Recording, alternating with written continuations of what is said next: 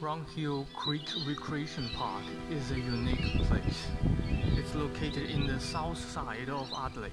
River red gum trees lie on the whole creek. The chosen site of this project is also surrounded by these old trees and bushes. Some of gums are more than 300 years old. The park is also a non-negligible place for people who want to escape from busy life in urban. It provides the area for people to relax in various ways, camping, hiking, jogging, and dog walking.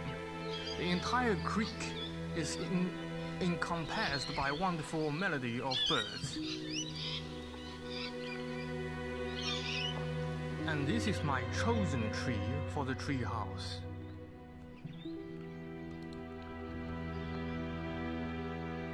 I was inspired by white arum lily.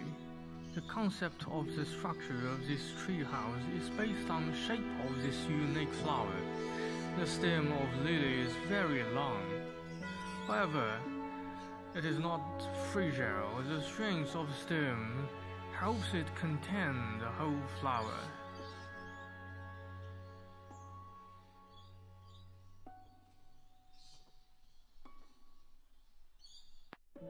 Frame lily is the name of these tree houses. They are environmental friendly. The individual curved support timber columns are not connected with tree at the center of columns, therefore trees will not be impacted. The tree and the tree house are not connected together, but they are still make a whole.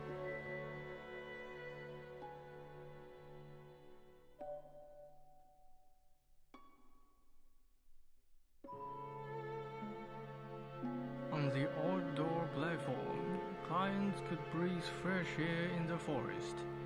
Inside the treehouse, furniture are well furnished. Users could get relaxed here.